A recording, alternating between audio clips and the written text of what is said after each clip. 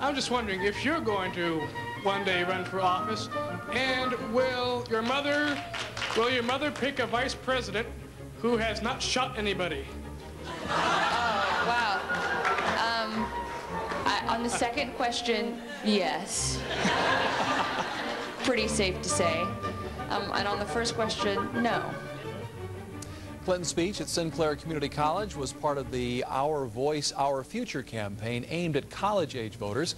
Today's stop was part of a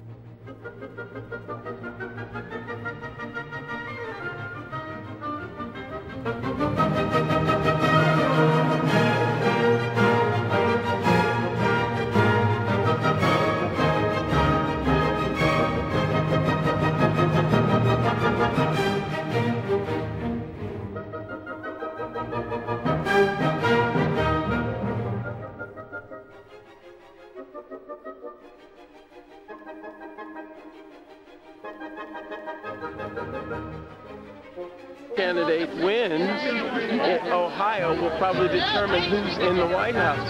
And it starts with Dayton.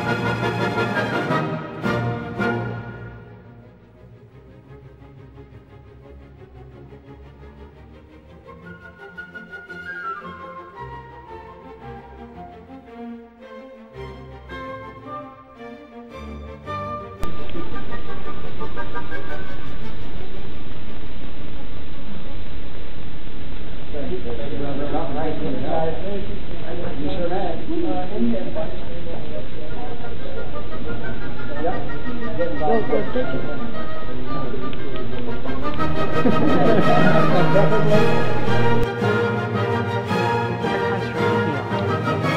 to heal.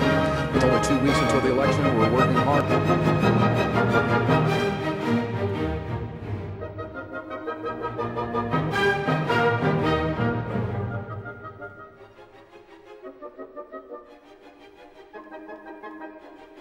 A vivid symbol of excitement as Biden energetically strides upon the stage at Kettering's Trent Arena. Hello, Ohio! Hello, Kettering! But then Biden began with the real reason he's here by acknowledging some here may have supported Republicans in the past.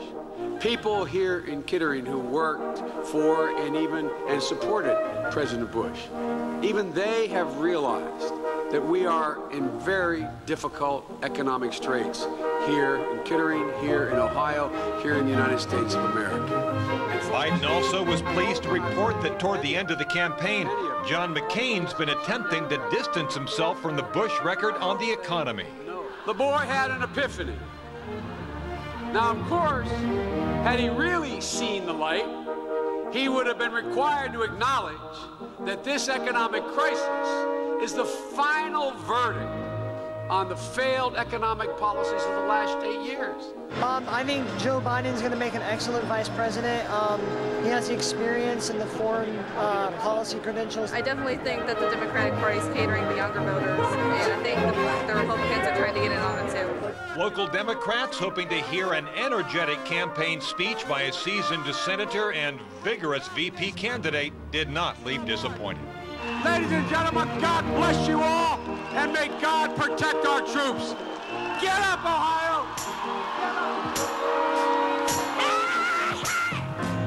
While Senator